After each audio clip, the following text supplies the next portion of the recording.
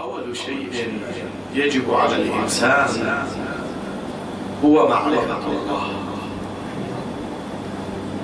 لهذا يقول سيدنا سيد الموحدين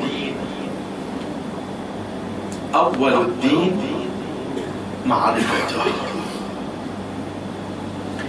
ذلك لأن المعرفة إذا تجلت في نفس الإنسان تقوده إلى الطاعة. وتبعده عن المعصيات يقول إمامنا الباقر سلام الله عليه ما عرف الله من عصاه. يعني أي أحد يعصي الله سبحانه وتعالى فهو لم يعرف الله حق معرفته لأنه لو عرف الله لأحبه. والإنسان لا يمكن أن يقسي محبوبه أبدا. مما ينسب لإمامنا الباقر أيضا. إنه قال تعصي الإله وأنت تظهر حبه.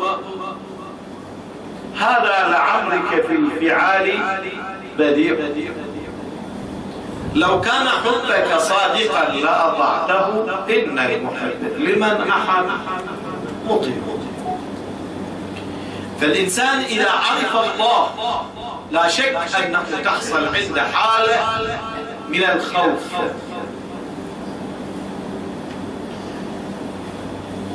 والخوف إذا استقر في أعماق نفس الإنسان يصده عن ارتكاب الجرائم يدفعه إلى عمل الخير يدفعه إلى التسابق في ميادين الفضيلة قال تعالى حكاية عن أوليائه الذين يخافونه ويحذرون عذابه. قل إني أخاف إن عصيت ربي عذاب يوم عظيم.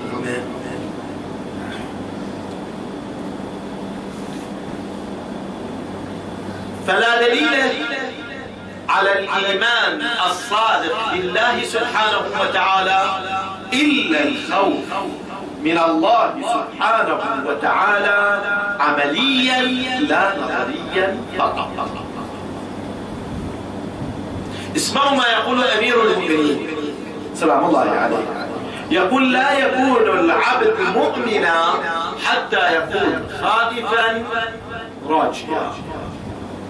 ولا يكون خائفا راجيا حتى يكون عاملا لما يخاف ويرجو.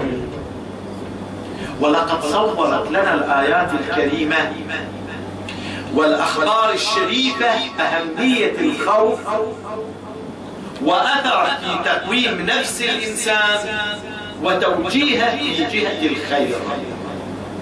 فكلما تجاوزت مشاعر الخشية في نفس الإنسان صقلتها وسمت بها إلى درجة أرفع حتى من الملائكة. أريد أثبت أن أنصار الحسين أنا أقدر أدخل في السيرة كما طلب الأخ. ولكن لابد من مقدمة تمهيدية ومقدمة إن شاء الله تكون محل رضا لله سبحانه وتعالى. أقول إن التجاوب إذا كان في مشاعر الإنسان صقلتها وسمت بها إلى درجة أرفع من الملائكة. كما أخبر بذلك من؟ الإمام أمير المؤمنين سلام الله عليه. الإمام أمير المؤمنين عندما أراد أن يبين لنا الفرق بين الإنسان وبين الملائكة وبين البهائم قال ماذا؟ قال إن الله ركب في الملائكة عقلا بلا شهوة. تفتوا وياي شوية هنا وركب في البهائم شهوة بلا عقل. وركب في بني آدم شنو؟ كلي ركب في بني آدم عقل وشهوة. التفتوا هنا ماذا يقول الإمام أمير يقول فمن غلب عقله شهوته فهو خير من الملائكة ومن غلبت شهوته عقله فهو شر من إلا الأنعام بل هم سبيلا ولهذا هنا أقول عندما أريد أثبت إن أنصار الإمام الحسين هم أفضل من الملائكة ليش؟ يمكن واحد يقول أنتم تتعصبون أنتم عاطفيين لا لا. نحن نقول أن أنصار الإمام الحسين هم أفضل حتى ممن؟ من الملائكة. وأن أعوان يزيد هم أرذل حتى ممن؟ من الملائكة. ليش؟ لأن أنصار الإمام الحسين كانت الإغراءات موجودة أمامهم لكنهم رفضوا أن يطلقوا العنان لأنفسهم. رفضوا أن يذهبوا إلى شهوات النفس. يعني الآن أنت أنت لما تجي أو تشوف واحد تشوف واحد من هذول الشباب المستهتر اللي هو في الطرقات في الشوارع معاكسات وكذا. هذا شنو؟ هذا مطلق العنان لنفسه. هذا تقول بهيمة لو مو بهيمة. هذا اللي قاعد يعاكس بنات هذا مو بهيمة. بل أقول لك البهيمة خير من الهيكل. هيكل إنسان إنهم إلا كالأنعام بل هم أضلوا سبيلا. يعني لما نجي نقول الهيكل هيكل إنسان لكن حقيقته البهيمة خير لما نجي نشوف إلى اعوان يزيد هذول شنو؟ مجرد أوعدوه بالرد بمجرد أنهم بيطلقون عليه بمجرد أنهم أوعدوهم بمناصب أوعدوهم بأشياء. ماذا؟ أطلقوا العنان لأنفسهم تعمل ما تشتهي. وتريد أما بالنسبة إلى أنصار الإمام الحسين ممكن لو لو قبلوا بعروض يزيد يحصلون مناصب أكثر من اعوانهم لكنهم لا. حكموا عقولهم حكموا دينهم حكموا مبدأهم بل مبادئهم. وأبتوا وأستطيع أن أقول كانوا مصداقا لقوله سبحانه وتعالى إن الذين قالوا ربنا الله ثم استقاموا. شلون يعني هم فعلا قالوا ربنا الله آمنوا بالله وثبت ولهذا يقول لك هناك ضرورة للثبات على الثبات وإحنا لازم نشوف. قبل لا نجي إلى ثبات الحسين وثبات أنصار الحسين. خلونا نشوف شلون ثبات النبي محمد. اللهم صل على محمد ونشوف إلى ثبات الامام علي. ثبات النبي. يجوا إليه. عرضوا عليه. شنو يريد لكن الإمام لكن النبي صلى الله عليه وسلم ماذا قال؟ عبر بكلمته المدوية والله لو وضعوا الشمس في يميني والقمر في يساري على أن أترك ما أمرت به لما هذا النبي صلى الله عليه وآله تعالوا يا إلى علي بن أبي طالب أمير المؤمنين. شوف شلون ثباته شلون ثبت على مبدأه. عرضت عليه الخلافة مشروطة بكتاب الله وسنة نبيه وسيرة الشيخين. بماذا أجابه قال لا بل على كتاب الله وسنة نبيه واجتهاد رأي لي. اجوا إليه جماعة قالوا له يا أبا الحسن أنت قاعد تخلي الناس سواسية عدالة؟ بهالشكل لازم تفضل هذول العرب الاشراف من العرب الاشراف من قريش لازم انت تفضل هذول الشخصيات اللي انت تشوفهم يميلون إلى معاوية. عطهم شوية. فرق بين العرب والعجم. تصوروا بماذا أجاب عن ثباته أتريدونني أن أكسب أتريدونني أن أكسب العدل بالجور؟ لا والله لا والله. هذا الإيمان هذا يقول لي معصوم أعطيك شخصيتين من حواري الإمام وأن مثل الإمام الحسين لاحظوا إلى أبي الأسود الدبلي هناك أشخاص يريدون أن يخلونك ما تكون ثابت على مذهبك أنت اليوم الإغراءات أمامك. سواء إغراءات أمام الشباب أمام الكهول أمام كذا. إغراءات ما شاء الله بس بيع دينك وبيعطوا. هل تبيع؟ لا بعضهم بفتات يبيع دينك شوف هذا الرجل وبعد ذلك قيس على واقعنا الاجتماعي اليوم. لاحظوا أبو الأسود الدؤلي كان معاوية يرسل إليه هدايا يريد أن يستميل عن حب علي بن أبي طالب. هو لما كل مرة يجيب له هدية يقول له خلها زاوية. الدار يجي بعد يقول له خلها في زاوية الدار يوم من الأيام كان أرسل إليه هدية ومن جملتها حلواء كانت له بنت صبية طفلة صغيرة. بعد لم تبلغ سن التكليف. إجت شافت شيء طعام كذا أخذت شيء تناولت فيه فيها. التفت أبوها. قال القيه لأن ترى لقمه الحرام تسوي شيء تسوي شيء غير لما أنت ترتبط بظالم تاخذ له شيء بسيط. هذا القيه هذا سم. هذه حلواء أرسلها إلينا معاوية. يريد أن يستميلنا بها عن حب علي بن ابي طالب شوف إيش سوى. إيش سوت هاي الطفل طفلة صغيرة إيش سوت. يقولون عالجت نفسها حتى ألقت ما في فيها وأنشأت تقول أبا لشهد مزعفر يا ابن هند نبيع عليك أحسابا ولينا معاذ الله كيف يكون هذا؟ ومولانا أمير المؤمنين. صل على محمد وآل محمد إذا مولاي علي بن أبي طالب أنا ما تميلني بس وعود والله أنا أستغرب والله أستغرب من بعض الأشخاص وعود بيعطونا منصب. وإذا هو يسجل أولاد وأهل قريته وكل شيء. تعال ما تخاف من الله. اللي قاصين عليك ممكن ما بيعطونه يوعدونه بس مجرد. وإذا كل شيء. بس مجرد واحد يقول لك أنا ممكن اصير حيث أصير ما شاء الله.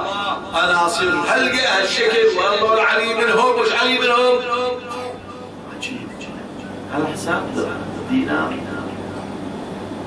نعم فإذا لازم من الثبات. إحنا كل واحد منا مطلوب منا أن يثبت يا أخي أنت تشوف ما يجري على دينك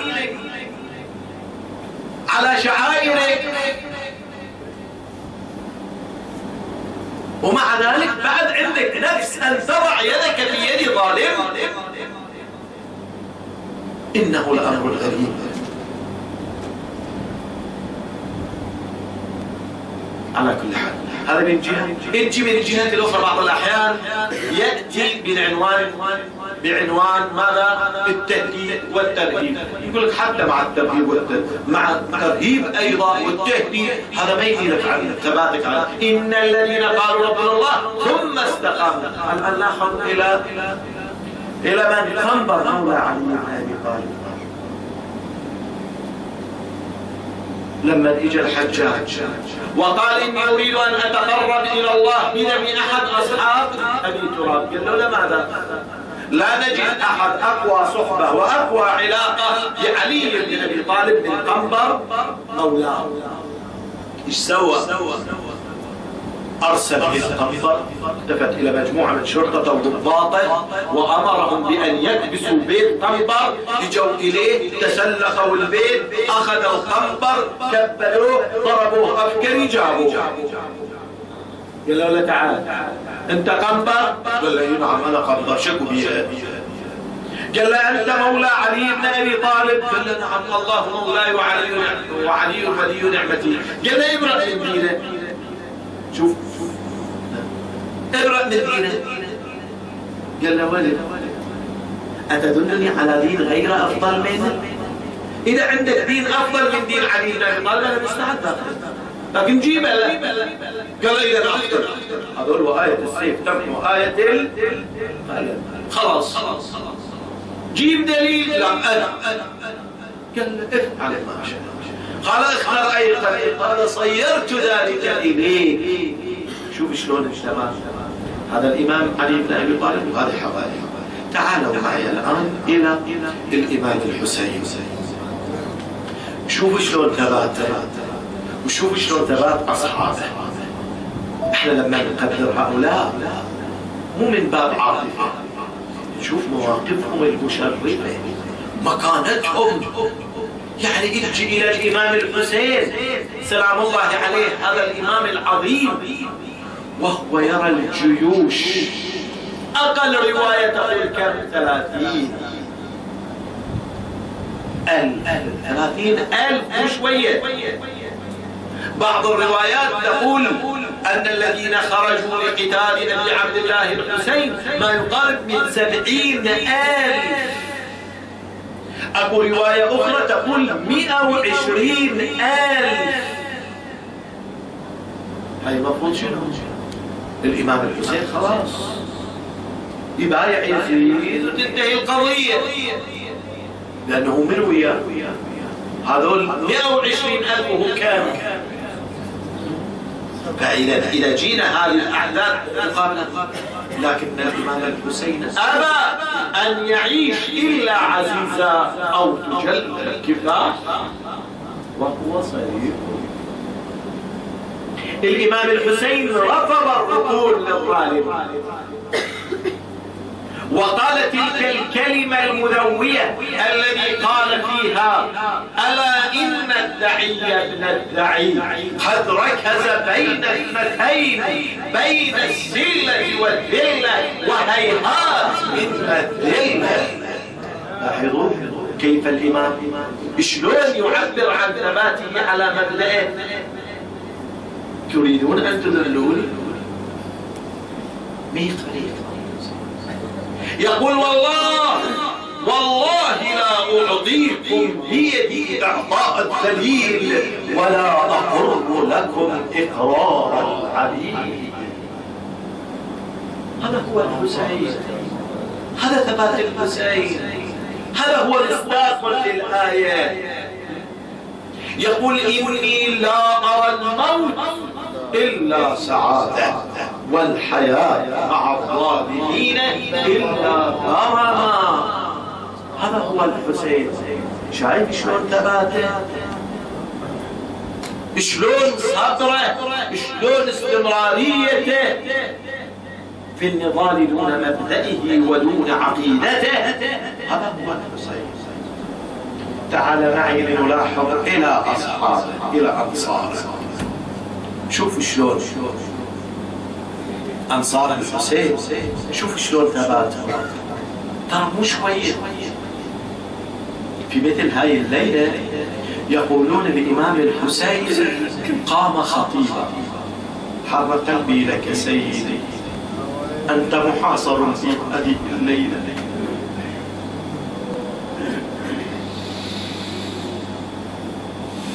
القوم قد أحاطوا به من كل جانب. أعظم الله لك الأجر يا زهرة في هاي المصيبة ومع ذلك الإمام الحسين على ما هو فيه من الحصار قائم راكع ساجد إلى أن قام في أصحابه خطيبا. قائلا أحمدك اللهم على أن كرمتنا أو أكرمتنا بالنبوة وعلمتنا القرآن وفقهتنا وجعلت لنا أسماعا وأبصارا وأفئدة فاجعلنا من الشاكرين. ثم قال لأصحابه إني لا أعلم أصحابا أما بعد فإني لا أعلم أصحابا أوفى من أصحابي.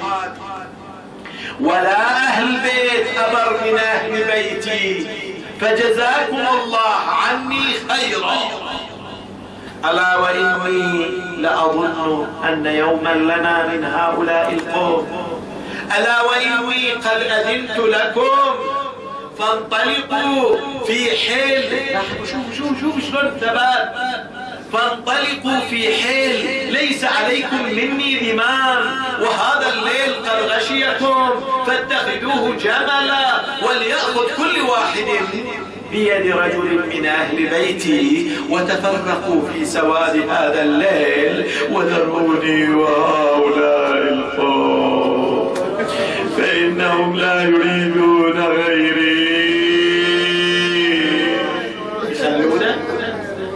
يخلونه الثابتين على مبدأهم يخلونه لا.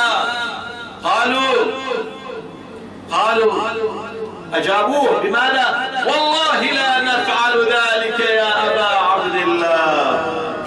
لا أرانا الله ذلك بعدك.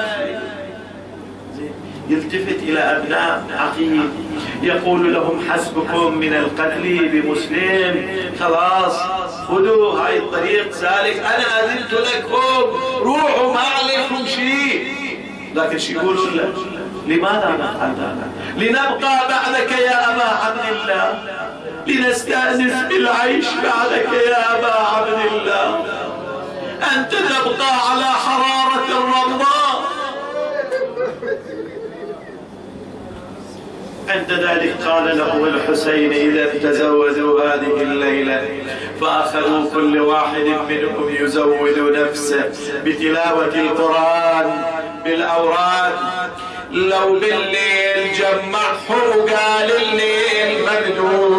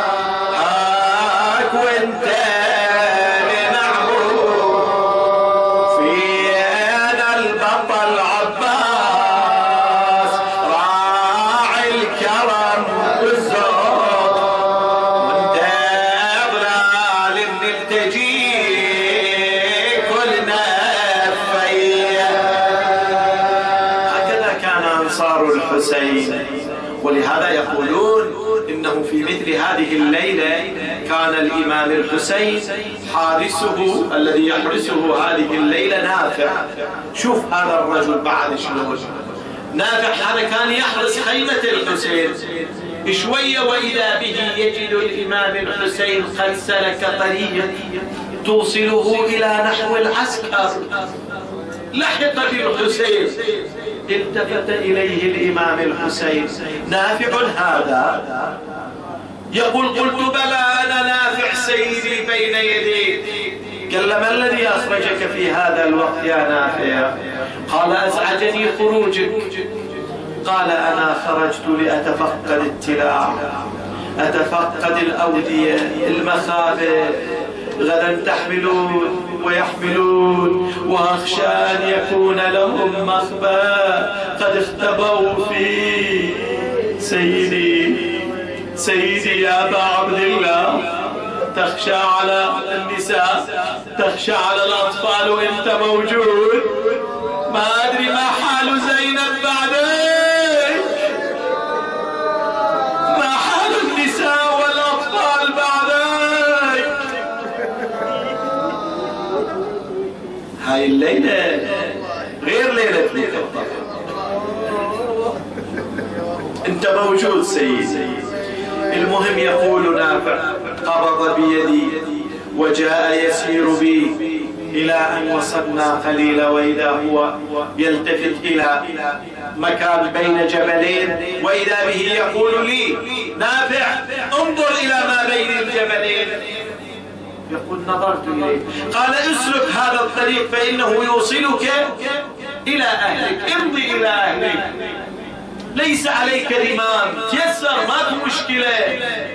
يقول نافع كبيت على قدمي الإمام أقبلهم وأنا أقول سيدي سيدي إن سيفي بألف وفرسي بمثله والله الذي أنعم علي بهذا لا أخليه حتى يخلى رأسي عن جسدي يقول بعد ذلك اجى الإمام الحسين يمشي. تدرون وين راح الحسين؟ كأني به في مثل هذا الوقت. دخل عند أم المصائب زينب هني المصيبه هني مصيبة. وكلها مصائب هذه الليلة.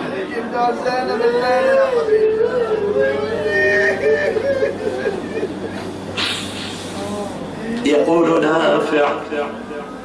دخل الحسين عند خيمة زينب وإذا به أخذ يسر إليها. يقول بينما أنا كذلك وإذا أنا أسمع بكاء زينب. ونحيب زينب تنادي ومصيبتها أسر إليها الإمام. بماذا أسر إليها حتى بكت هذا البكاء؟ كأني بالحسين قال لها أخي زينب أنا معك هذه الليلة الشباب وياك هاي الليلة.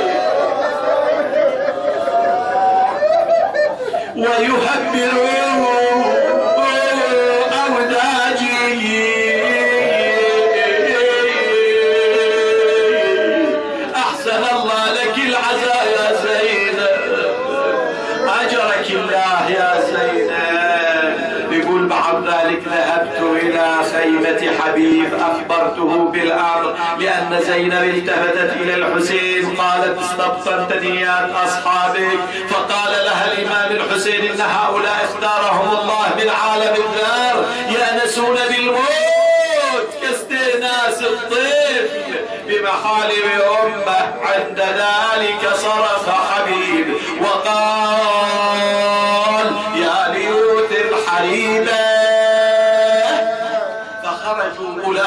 شهروا سيوفهم يقدمهم قمر العشيرة أبا الفضل العباس.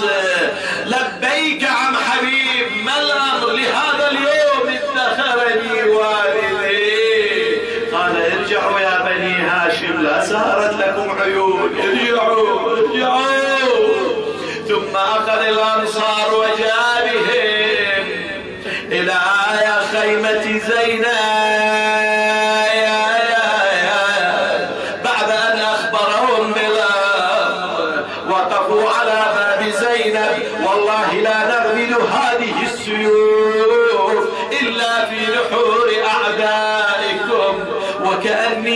وكأني بالنساء ينادين بصوت محزون. لا تتركوا. أيها الطيبون لا تتركوا الحسين. أيها الطيبون حاموا عنا. نعم يا زينب ما دامهم على قيد الحياة كلهم بحامون. لكن ما أدري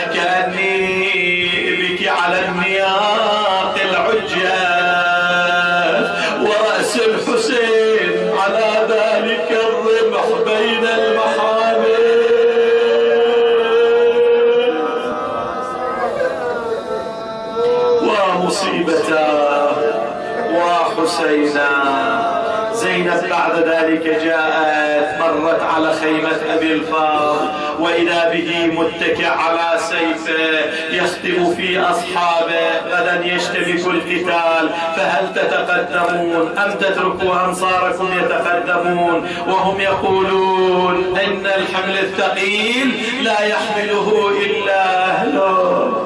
حبيب أيضا واقف أيضا بعد مع أصحابه وهم يقولون أنا ما طلقنا حلائلنا وهجرنا زهرة دنيانا إلا لنهرق دماءنا دونهم. رجعت زينب إلى الخيمة والنساء هذه أخذت تودع ولدها. ليلة ليلة وداع. الليلة ليلة وداع. كأني بالرباب أخذت الطفل ضمته إليها. أخذت تودعه كأني بليلى أيضا دخلت على علي الأكبر. ودعته وضمته وشمته. بعد رمل راحت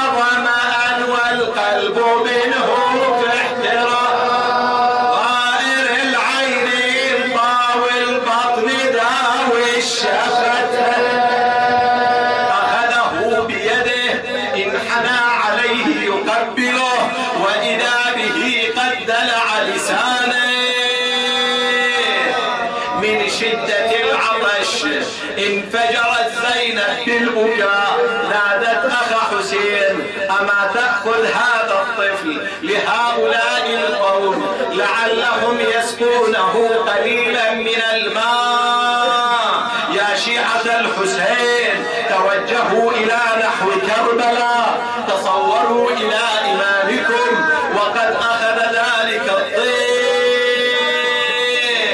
والشمس في أوجها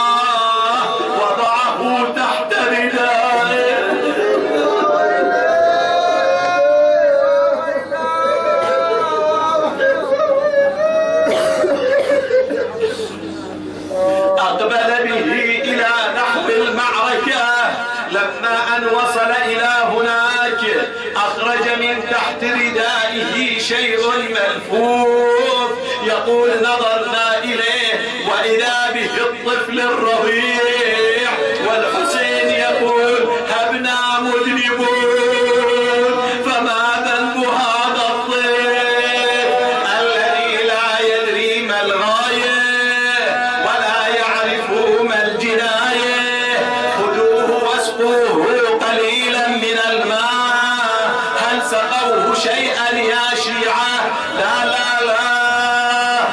سقوه بالسائل